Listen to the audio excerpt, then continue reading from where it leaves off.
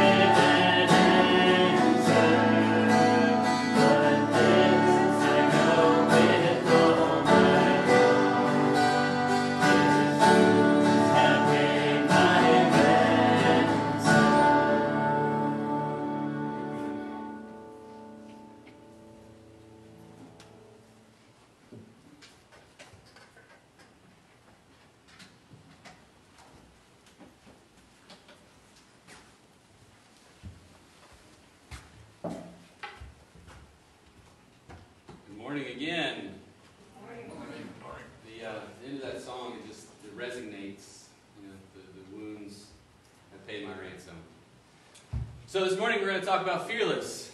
Talk about being fearless and what it, what it means to be fearless. But before we get to that, we're going to talk a little bit about music, a little bit about songs, S O N G S, and how important songs are to our everyday life. You know, whether it's a, a song that, that you remember from a movie or maybe your, your wedding, um, something that, that brings you joy. Some, some songs actually bring some sorrow. But songs are important in our everyday life. They bring up emotions. They, they, they stir your thoughts. And King David, King David was, was one of the most known, maybe the most known Israelite king, was a song writer. A worship songwriter, to be exact. You know, before he was a songwriter, though, he was a shepherd. He, he was in the field tending to his father's flock. He was, he was working diligently to care for the sheep. And as, as he took care of his sheep, the prophet Samuel came by and said, Hey, David, you're going to be king. And one of the things that amazes me, David turns around and goes right back to being a shepherd. You know, he kind of he trusted God's plan. He trusted the way God was guiding him, so much so that he continued to be a shepherd. Eventually, he became a musician for King Saul. He played the harp or the lyre. Um, and then he became an armor bearer, and around that time, around the armor bearer period of his life, is whenever he started writing songs. And God worked through King David as a young man and as an old man, as a broken man, to bring us half of the Psalms in the book of Psalms. You know, Abraham Lincoln said it best. He said, He who writes the nation's songs shapes the nation's souls. King David, the, the, the man after God's own heart, knew what it meant to lay his life out there in music. Knew what it meant to, to open his heart and say, God, this is my heart. He, he knew what it meant to show God's heart to others through his words. Before he was a songwriter, by vocation, David was a shepherd. And in Psalm 23, he pins an incredible example on what it means to truly care. And the idea of God being the good shepherd. And in Psalm 23, I'm going to point out three reasons we can have assurance, right? Three reasons we know how and we have security that God is the good shepherd. So if you want to, open your Bibles to Psalm 23. And Psalm 23, I was thinking about it earlier, it is one of the most known chapters in Scripture. George Bush read it at uh, 9 11, Ground Zero. It's been read at hundreds of funerals. And, uh, and I just think the more we, we read it and listen to it, the more rich and the more assurance we have in God's faithfulness. Verse 1 The Lord is my shepherd, I lack nothing. He makes me lie down in green pastures. He leads me beside quiet waters. He refreshes my soul. He guides me along the right paths for his name's sake. Even though I walk through the darkest valleys, I will fear no evil, for you are with me. Your rod and your staff, they comfort me. You prepare a table before me in the presence of my enemies. You anoint my head with oil. My cup overflows.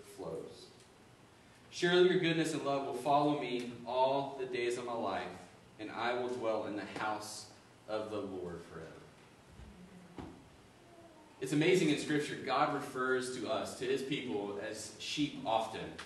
And I, and I was kind of, you know, whenever I first thought of it, I was like, okay, great. You know, he is our, he is our shepherd. He, he is guiding us. We are his sheep. Wonderful. But the more I read and the more I studied,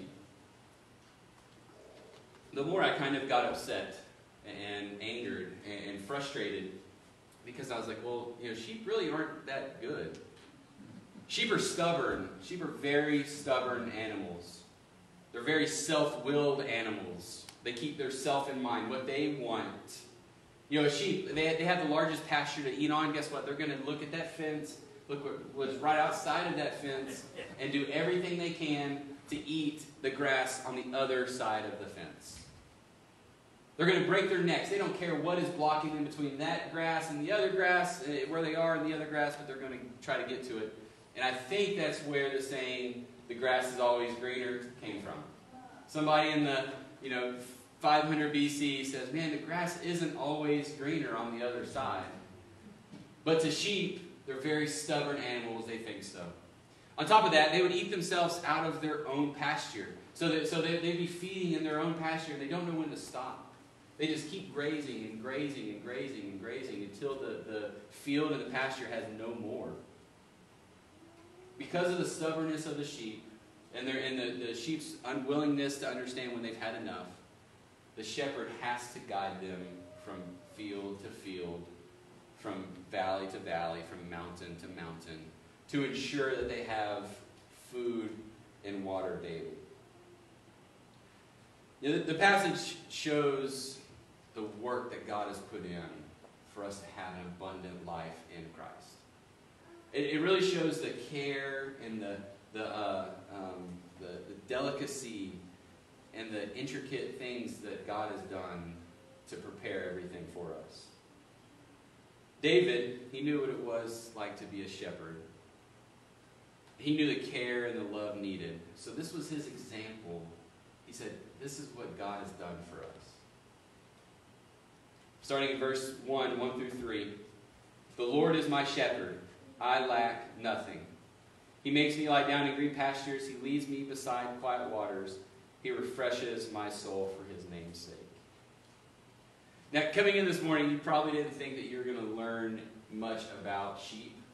You know, kind of driving here this morning, you probably weren't like, I'm going to leave here and I'm going to know how to be a shepherd.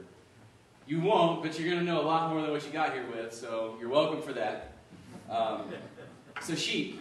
Sheep will only rest or only lie down when they're free of a few things. Fear is one of those things. You know, if a sheep is fearful or if it's frightened or afraid, it can't settle down and it can't lay down. If there's friction within the same flock, you know, if, if, if there's an issue, they, you see them butt heads often, right? Whenever there's that friction going, they can't rest or they can't lay down because they never know what's going to happen. On top of that, knowing the shepherd is near kind of gives them a little bit of assurance. You know, because if they do have friction, knowing the shepherd's near, knowing that, that the shepherd is there, they, it can kind of fix whatever problem is around. If, if he's fearful, knowing the shepherd is there allows the sheep to kind of relax and, and just rest. And, and I think of us a lot in that situation.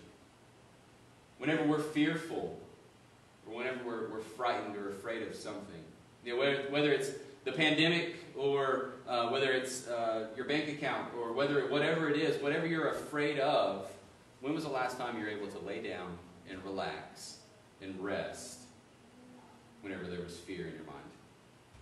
Same thing with friction. When was the last time you were able to relax whenever there was friction in your household? Or whenever there was friction outside of your household?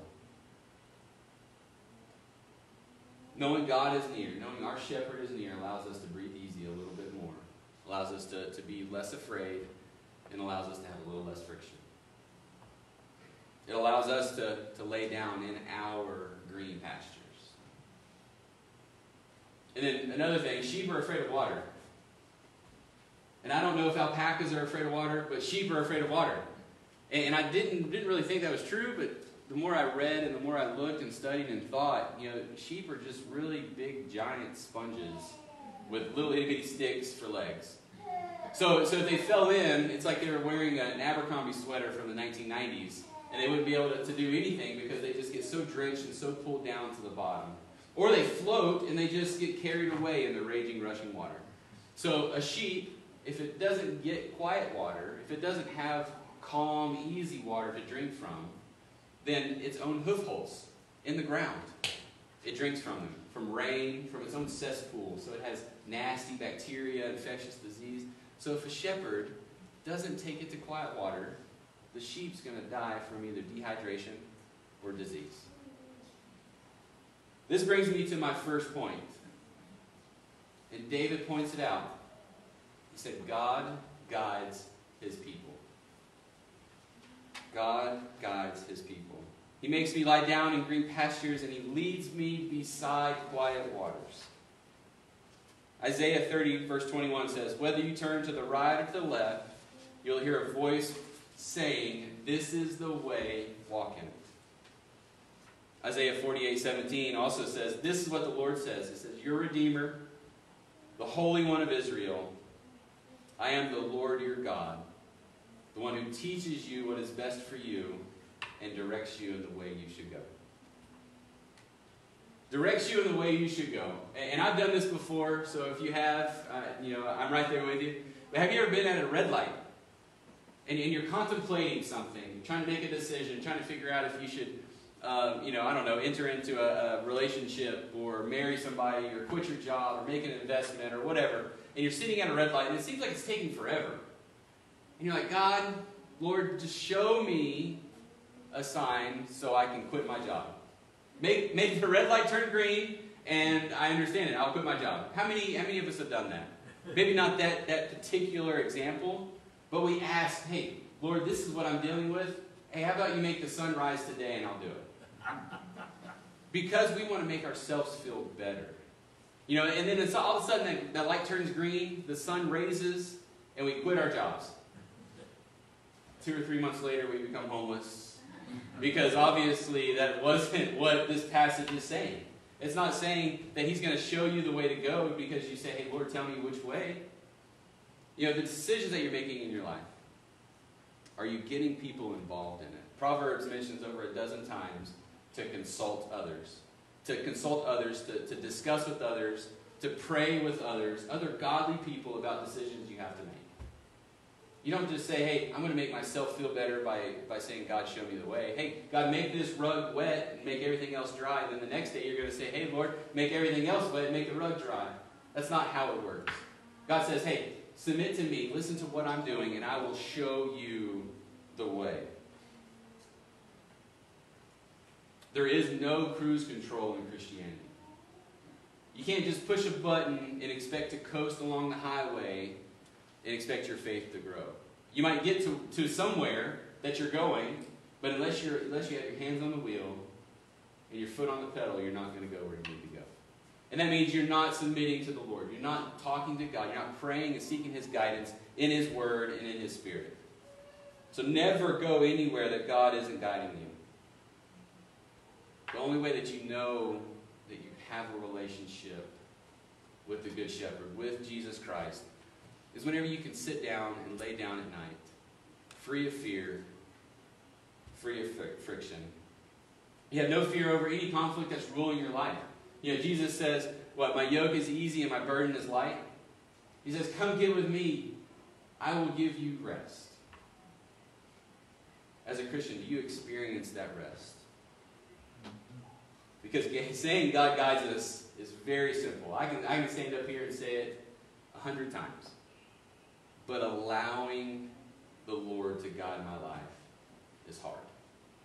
Because our sin nature, our, our self will, right, our, our, our natural urge is to go the exact opposite way. You know, we want to be those sheep that are in the field, perfectly manicured, beautiful, green pasture, but we want what's on the other side of that fence. Right? We want that next promotion. We want that next job. We want that full bank account. We want that new car. We want that new house. We want all the social media likes. We want everything that we see, but we don't see the green pasture behind us. We want to stretch our necks out, right? We think the grass is always greener on the other side. You know, we know how we should act. We know how we should act, but we don't. Paul says this in 2 Thessalonians. He says, But the Lord is faithful. He will strengthen you and protect you from the evil one. Just have to have faith and know that God is our good shepherd and he is guiding his people. Verse 4 says, Even though I walk through the darkest valley, I will fear no evil. For you are with me, your rod and your staff, they comfort me. So whenever my, uh, my daughters, whenever they, they're frightened or, or afraid or scared, they wake up and have a bad dream, or uh, the, sometimes the bathroom's too dark and they need the lights turned on, or they're getting dressed and, and they're afraid of what's in their closet. I don't know. I'm kind of their go-to guy for the most part. You know, sometimes they'll find Randy or, or whatnot, but most of the time I'm their go-to guy because they know I'm this big, you know, scary, hairy man, and whatever is going to come at them, I can protect them. You know, even at 2 a.m. in the morning, and, and I don't know if everybody's experienced this at one time or another. At 2 a.m. in the morning, they wake up from a nightmare.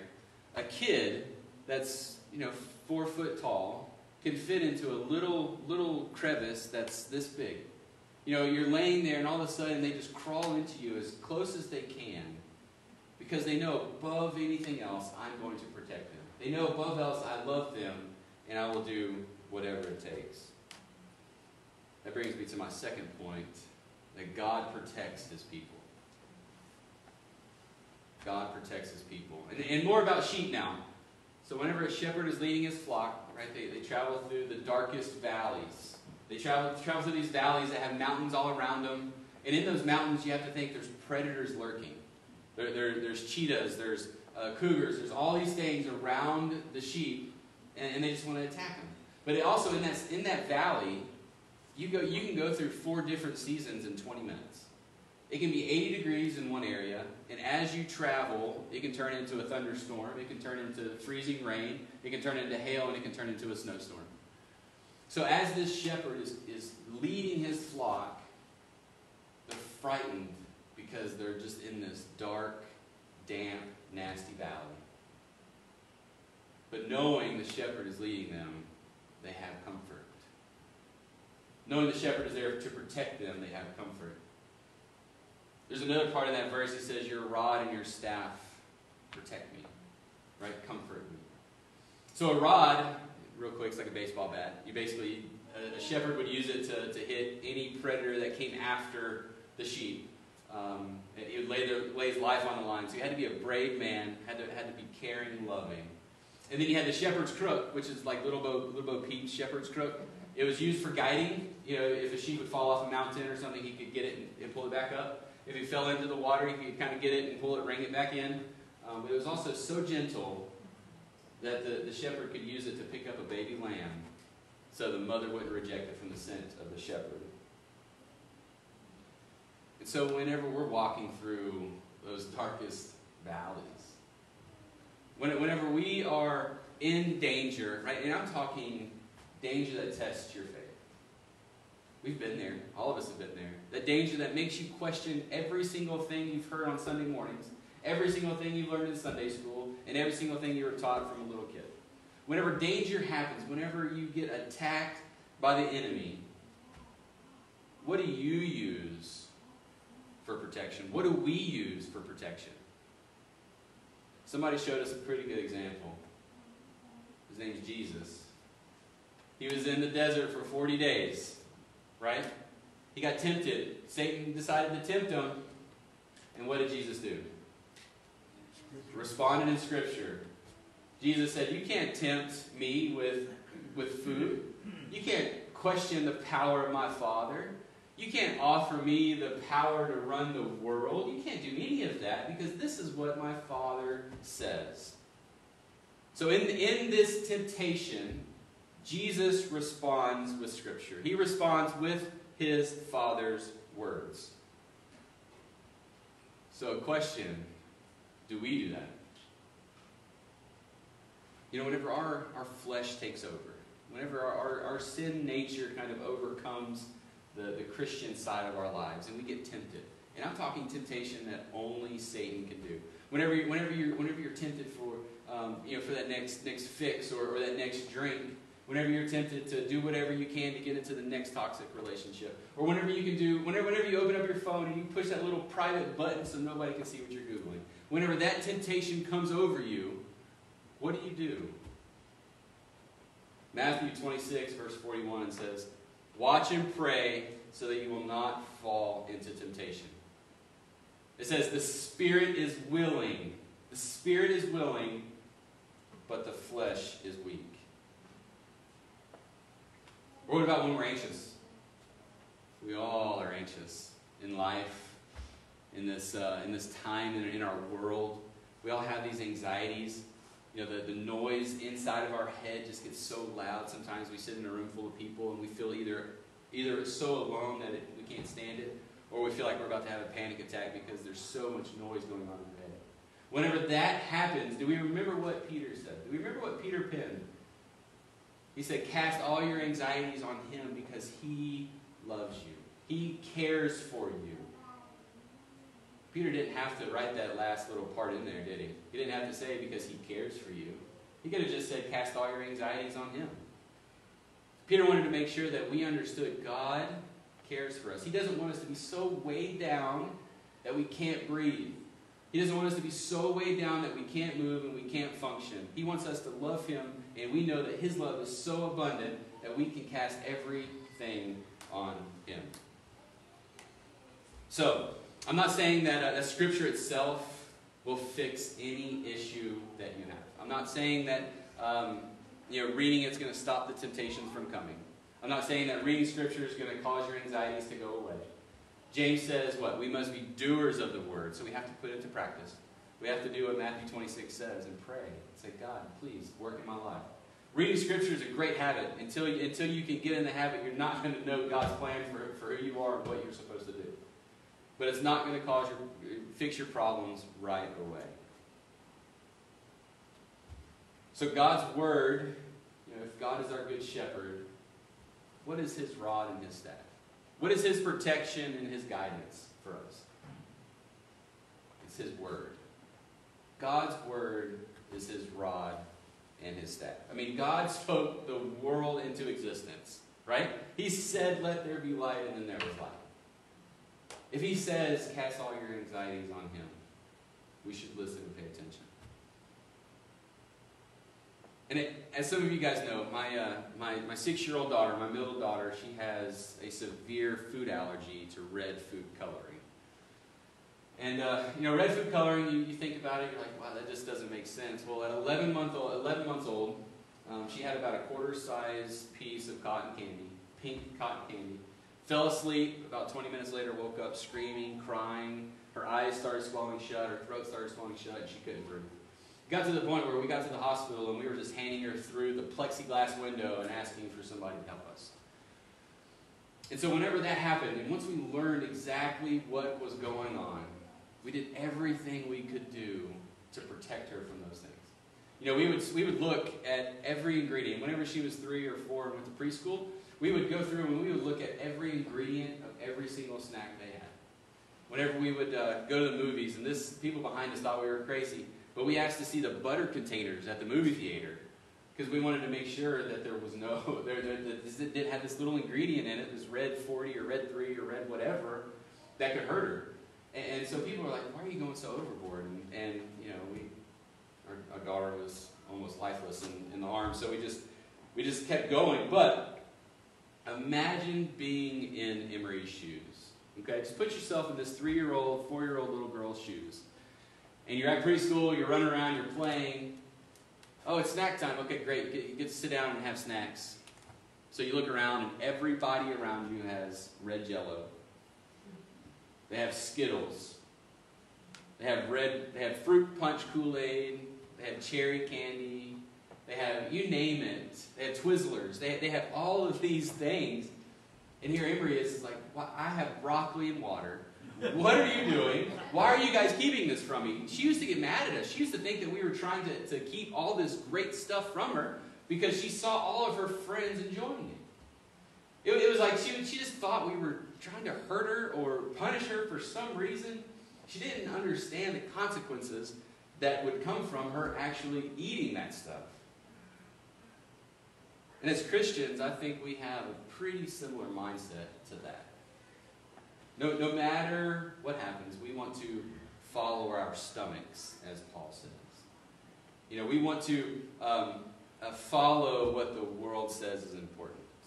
We care about what the world says. We, we care about earthly things, which is great. You know, we, I love having possessions. But whenever that's all I care about, whenever all I care about is my house or my car, you know, whenever the, the dream wedding is the only thing that you, that you focus on, whenever um, the promotion or, or whatever it is, whatever idols you have in your life, whenever those things don't happen, what do you do? Whenever you can't afford to put food on the table, what do you do? Whenever you're next in line at the grocery store, I've been there, and you're trying to figure out and pray, say, God, please let my card go through. And if it doesn't, I know an escape plan to get out of here because I can't afford to put groceries on the table. What do you do? What do you do whenever everybody's life around you seems so much easier so much better because everything that you have is uh, not enough? You question. You start thinking God is trying to keep things from you. He, he is trying to keep the good things from you. And in the final verses, David captures this idea. This, this idea of keeping good things from us. Verses 5 and 6. You prepare a table before me in the presence of my enemies. You anoint my head with oil, my cup overflows. Surely your goodness and love will follow me all the days of my life, and I will dwell in the house of the Lord forever. So, a little bit more about, uh, about sheep. Um, a shepherd would take sheep from lowlands to the highlands. And, and in sheep country, a lot of times the highlands were called the tablelands or the tabletop. And whenever a, a shepherd would prepare a table before the sheep, in front of enemies, in front of the predators, in front of the cougars, it would go out and pick this beautiful little white flower. It's called a white camas. And, and I, I, was looking it up, and, and the white camas actually has a different name. It's called the death camas. Because if, if a sheep was to ingest it, if it was to eat some of it, it would just get paralyzed and die. And so, as the shepherd would prepare this table, as he would walk around, he would have to pluck. It's like being in the field out here and trying to pull all the clovers. That's what the shepherd would have to do. He would have to walk around and pull all of these little things to make sure his flock didn't die. And then the second part of this verse, he, these verses, he says, You anointed my head with oil. And so as, as I started reading, you know, a shepherd actually anointed the sheep's head. And I didn't think, I didn't really believe it. It I thought it was just a good vis- visual aid or something. But the oil actually worked as an insect repellent. An insect repellent. Because flies, flies would fly up the nasal cavity of the sheep, lay eggs, the eggs would hatch, and then the sheep would do everything they could to get the sound out of their head. They would run as hard as they could and hit trees and fence posts to the point of death. And so, a loving and caring shepherd preparing a table before his sheep, before the enemies, and anointing his sheep's head with oil is something only a caring and loving shepherd. It, somebody, it's, it's only a shepherd that would know the value of the flock that it was leading. So my third, third and final point, God cares for his people. God cares for his people. Jeremiah 29 11. For I know the plans I have for you, declares the Lord. Plans to prosper you and not harm you. Plans to give you hope and a future. You know what Emery finally realized as she kind of grew up and got a little older, uh, what she finally realized was that we were keeping her away from harm instead of withholding all those really good things that she thought she wanted. You know, we were, we were working to keep the danger away instead of allowing her to experience the pain that it felt. And she understands now certain things are bad. You know, she understands that red food coloring in food and, and in everything in the world is bad. Because just a little bit of that pleasure, right? Who doesn't like a Skittle? Just a little bit of pleasure is going to cause a whole lot of pain. It's going to cause a whole lot of heartache and a whole lot of discomfort. And I'm sure we've all heard it. You know, God is not saying no, He's just saying not yet. Right? That's something that we've heard. I've heard it for years now. And it's true. Because what we're asking for doesn't align with God's heart? Is it saying, hey, God, this is what I want? Please give it to me. Or are we saying, God, this is what you want? Show me the way. Because whenever you align yourself with the Lord, whenever you, whenever you align yourself with God's heart, the things that you desire most in this world become less desirable. they become less important. You know, that dream wedding doesn't necessarily become an idol to you. The cars don't become idols, your social media status, your bank account, all those things, they, they just become less desirable. Nathan said it once. He said, God is not handing out idols.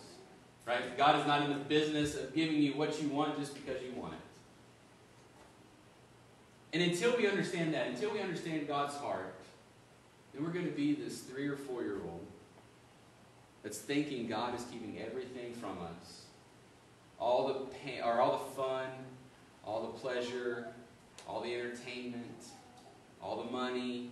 He's trying to keep everything from us. But we don't realize that it's keeping us from that, from pain, from destruction, from regret, from heartache. You know, God loved us so much to the point that He sent His Son to die for us. His body was broken, His blood was shed for our salvation, so we could dwell in the house of the Lord forever. So God gave us the, the fields. He prepared everything in front of us. He said, Hey, I'm going to be your good shepherd. And after studying this passage, I realized what it means to truly be a shepherd. What it means to be fearless in the face of, of your enemies. To work diligently to prepare and do everything. To think, hey, I, you know, my sheep might want this white flower, but at the end of the day, I know it brings them death. God gave us an, an invitation to eternal life with Him. And, and as you move forward in your Christian walk, you know, what's your next step? What's the next step that you say, hey, this is where I need to go, or this is what I need to do? If you know it, great. If you don't know it, we would love to talk. I would love to talk to you. Reach out. Do, do something because there is no cruise control in Christianity. You can't just click the button and expect to get to where you're going. Let's pray. Dear God, Father, I uh, thank you for thank you for your word. Thank you for uh, the words penned by King David and, and uh, knowing you are our good shepherd. As we move forward, let us just hear your voice and follow you. As we hear the stranger's voice, let's, let's turn our backs and just you know, continue to keep our eyes fixated on you. As we go about our week, just allow your, uh, your word to resonate, allow your spirit to protect us, and allow the cross to be evident. Allow us to show others Jesus and live out his commandments and loving others well. Thank you for loving me to the point of death and loving me first, Lord. And it's in Christ's name we pray. Amen. Amen. As we enter, uh, as we enter this time in our service, as we approach the, the Lord's table, uh, just remember there's four stations: two in the front, two in the back. Just go, uh, go to the one closest to you after the meditation. Um, have some time in prayer, and then we'll close out. Thanks.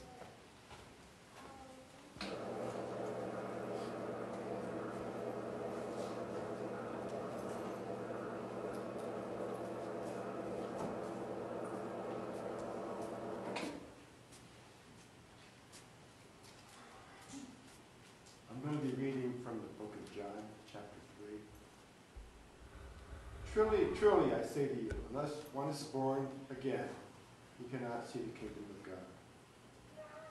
As Moses lifted up the serpent in the wilderness, even so must the Son of Man be lifted up, so that whoever believes in him will have eternal life. For God so loved the world that he gave his only begotten Son, that whoever believes in him shall not perish, but have eternal life. For God did not send the Son into the world to judge the world, but that the world might be saved through him.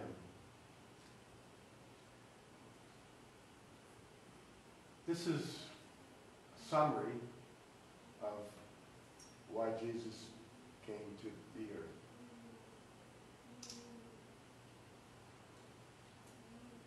This, this, uh, this passage is, uh, Jesus is talking to uh, Pharisee Nicodemus, and Jesus knew that he wanted to know, how can I have eternal life? How can I be saved? And this is his, that was uh, part of his response. You must be born again. You must uh, believe upon Jesus. And that, that's very comforting to us, that we have a Savior who loves us so much that he wants us to be with him forever. Amen. One thing we don't really think about too much at this time is the forever part. That Jesus wants us to be with him forever. We understand the forgiveness part, that Jesus forgives us our sins, that he died, was resurrected, and ascended into heaven, and our sins are forgiven. But why are our sins forgiven? Because sin cannot be tolerated in heaven. To, to enter into heaven, we have to have our sins covered up. Jesus did that for us. In the desert, Moses lifted up the snake when the people got sick, and they, they looked at the snake and they were healed. And Jesus said, just as the snake was lifted up, he must be lifted up. When we look at Jesus on the cross, we are healed. Let us pray. Heavenly Father, forgive us for our shortcomings and for our, our sins. Father, forgive us for not thinking more about you every day. Father, people say that they hear, the, they hear, they've heard that they, they want the Lord to speak to them. Well, today people heard you speak to them through your word. Amen. Father, we listen to your word. We want to accept you as our Savior, but we also accept you as our Lord. You want us to obey your words, to love each other very much, Father, as we love you. Father, we thank you for the sacrifice. Jesus came. He had a body. That body was put on the cross. It was broken and tortured and bled and died. But The grave could not hold him. He, he was resurrected, came back to life, and he lives forever. And he, he, he's in heaven interceding on our behalf. Thank you, God, for your love.